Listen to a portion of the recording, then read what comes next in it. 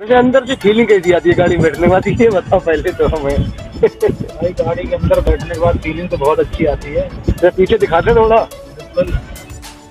मतलब ये यार पिलो पिलो वगैरह बहुत डाल रखी है यार। क्या लड़कियाँ वगैरह तो नहीं घुमाते हो?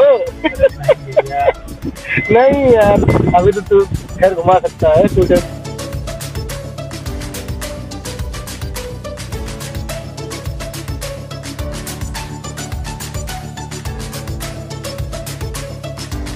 आज हम फिर से आप सब लोगों के बीच में मौजूद हैं। आज कुछ नया धमाका और नया अलग। तो भाई आपका नाम बताओ। वैसे मेरा नाम है आलोक यादव। हाँ जी तो आज आलोक यादव है और इसकी ये खड़ी है सिविक होंडा आज हम इस चीज़ का गाड़ी का रिव्यू करेंगे कि आपको ये गाड़ी ओल्ड ओल्ड मॉडल है। वैसे इन्होंने सेकेंड हैंड परचेज़ की थी। ऐसी गाड़ी अगर आपको मिलती है, इस कंडीशन में मिलती है तो आपको लेनी चाहिए या नहीं लेनी चाहिए, और ओनर रिव्यू रिव्यू करेंगे हम ओनर का। ये गाड़ी के ओनर है और ये चला चुके हैं। और तो इनसे पूछेंगे हम कि गाड़ी कैसी चलती है, क्या इसका परफॉर्मेंस इन्होंने देखा है और अब तक रहा है, क्या इनको कैसी फीलिंग आती है, और गाड़ी में किस तरह के नुकसान हैं, क्या फ़ायदे हैं सेकेंड हैंड गाड़ी लेनी चाहिए या नहीं लेनी चाहिए। ठीक है तो बने रहिए वीडियो के साथ, और अगर आप नए हैं तो चैनल को सब्सक्राइब कर लें और कमेंट और लाइक करना ना भूलें। तो स्वागत है आपका हमारे चैनल में। जी, तो बताइए कि गाड़ी आपकी कौन सा मॉडल है? भाई ये 2009 दिसंबर है। 2009 दिसंबर है। काफ़ी बेहतरीन गाड़ी है। तो गाड़ी के बारे में कुछ बताओ आप कि गाड़ी कितने कितना समय हो गया आपको लिए हुए? इससे समथिंग वन ईयर हो गया। वन ईयर देखो कितने की ली थी वो सब बात हम लास्ट में करेंगे। पहले तो आप गाड़ी के बारे में ये पूछेंगे कि गाड़ी आप इतने कितने कितने एक साल हो गया ना। रखते हुए आपको गाड़ी। एक साल में आपने क्या महसूस किया? एक साल में जितने की आप गाड़ी लेकर आए हो इसमें आपको क्या लग रहा कि हमें आपको अच्छी फीलिंग आ रही है या क्या फीलिंग किस तरह की आ रही है? हम्म, गाड़ी जब से मैं लेके आया मैंने कुछ इसमें काम नहीं कराया सर्विस के अलावा। हम्म, बाकी ये ऑटोमेटिक गाड़ी है थोड़ा इसका एवरेज का इशू रहता है। अच्छा एवरेज कितना निकाल देती है फिर भी? एक लीटर में एवरेज कितना निकालती है पेट्रोल है या सी एन जी भी पेट्रोल पे है भाई सी एन जी नहीं लगवाई सी एन जी नहीं लगवाई। तो कितना पेट्रोल का अगर आप हाईवे पे चल रहे हैं तो बारह तेरह के समथिंग देती है। और अगर आप लोकल में चल रहे हैं तो फिर नौ दस देती है। अच्छा। हम्म, तो एक बात और आपसे ये पूछना चाहेंगे आलोक जी अगर कोई मिडिल क्लास फैमिली वाला अगर कोई सेकेंड हैंड कार लेना चाहे तो वो इसको ले सकता है या नहीं ले सकता है? क्या आप क्या संदेश देना चाहेंगे? लिए भाई मेरे अकॉर्डिंग तो अगर आपकी पॉकेट मनी पचास हज़ार से कम है तो ये गाड़ी लेना बेकार है। अच्छा। मेंटेनेंस ज़्यादा महँगा है क्या? मेंटेनेंस तो महँगा नहीं है लेकिन इसके पार्ट्स महँगे हैं। अगर कोई इसमें काम आता है तो वो थोड़ा ज़्यादा कॉस्टली पड़ता है। अच्छा। बाकी अगर आप सीएनजी पे चला रहे हैं तो हर कोई मैनेज कर सकता है। पेट्रोल पे हर कोई अफोर्ड नहीं कर पाएगा। अच्छा तो अंदर क्या क्या फैसिलिटी है वो सब बताएँगे आप? अंदर आप देख लीजिए। आ जाइए जरा। अंदर भी देख लेते हैं। क्या क्या है?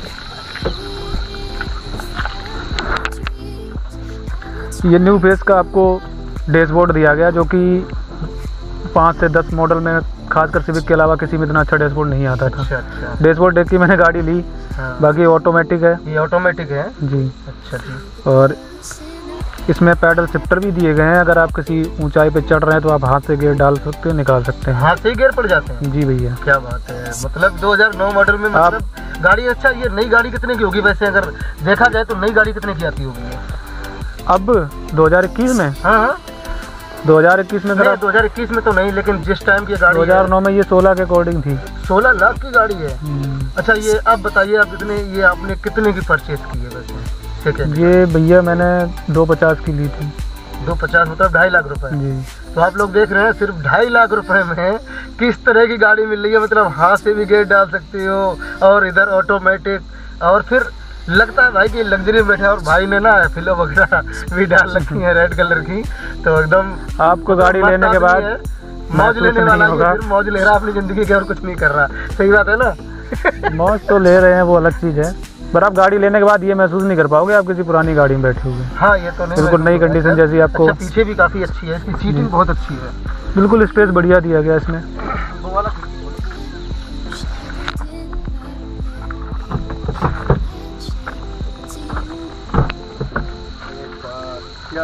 आप देख सकते हैं कि गाड़ी की देखिए सीट जैसे ये लगता है शाम बैठ के जरा हट बैठ के देखते हैं। कैसा लगता है? अरे वाह यार लग रहा है किसी सोफा वगैरह में बैठ गए हैं। और इतना सुकून है। भाई लॉन्ग अगर आप लॉन्ग डिस्टेंस पे लॉन्ग डिस्टेंस पे चलते हैं हम्म, हम्म। तो लॉन्ग डिस्टेंस में बहुत ही कंफर्टेबल कार है। आप क्या और कहना चाहेंगे? टायर पंद्रह पंद्रह इंची है। जी। पंद्रह नंबर का टायर पड़ता है डिग्गी का स्पेस भी डिग्गी स्पेस आपको। अच्छा खासा दिया गया। डिग्गी स्पेस भी देख लेते हैं आखिर डिग्गी स्पेस कितना है इसमें। ओ तेरी। बहुत बड़ा सारा स्पेस है इसमें। मतलब इसमें तो अगर सिंजी लगवाना चाहो तब भी स्पेस बहुत ज़्यादा बचा रहेगा। सीएनजी लगवाने के बाद हाँ बचा रहेगा। भाई साहब गाड़ी तो आपको बहुत बेहतरीन मिली है क्योंकि अभी तक इसमें ओरिजिनल जो आती है किट जो कंपनी देती है वो बिल्कुल साथ में वही अभी भी रखी हुई है काफ़ी बेहतरीन कंडीशन में। जी। बहुत बेहतरीन कंडीशन में गाड़ी है बहुत अच्छी आपको गाड़ी मिल गई है। अच्छा इंजन एक बार अ, बिल्कुल बिल्कुल इंजन। दिखा दीजिए। जी। किस तरीके से इंजन रिफाइंड है क्या? इंजन इतना इसका जो कितने कैपेसिटी का है? इसका जो इंजन है अठारह सौ सीसी का है।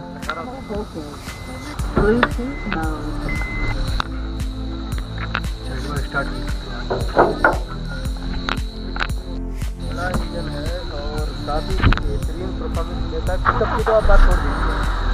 जैसे कि पेट्रोल गाड़ी है और इंजन बिल्कुल महसूस नहीं हो पा रहा है। आप पास में आप इसकी आवाज़ सुन सकते हैं किस तरीके की इसके इंजन की आवाज़ है। इंजन की आवाज़ आप सुन सकते हैं आप देख सकते हैं।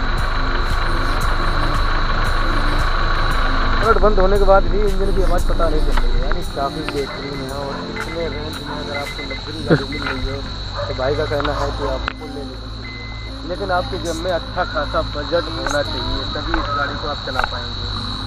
तो ऐसे ही इसी गाड़ी के साथ हम देखते हैं अभी इसको चला के देखते हैं।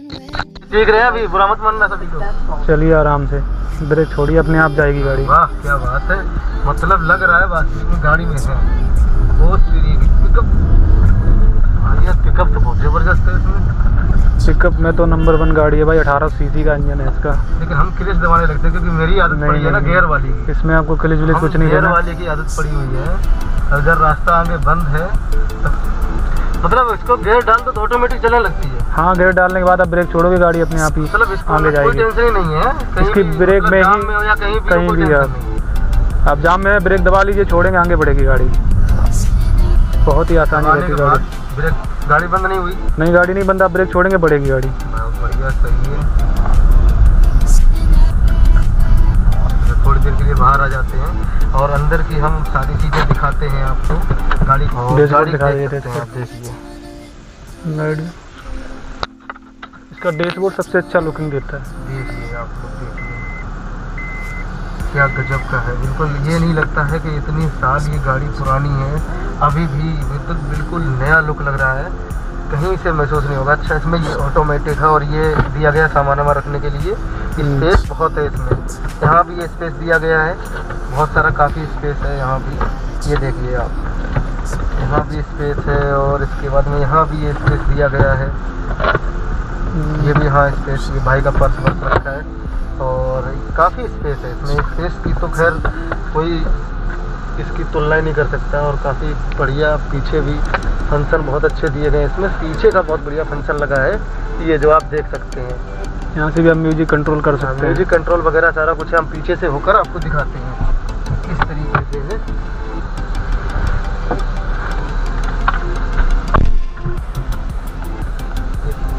पीछे वाला ये जो है, यहाँ सीट से निकलता है और इसमें म्यूज़िक कंट्रोल और यहाँ इसका फोल्डर है, इसको बंद भी कर देंगे और इसके हाथ ऐसे रखिए।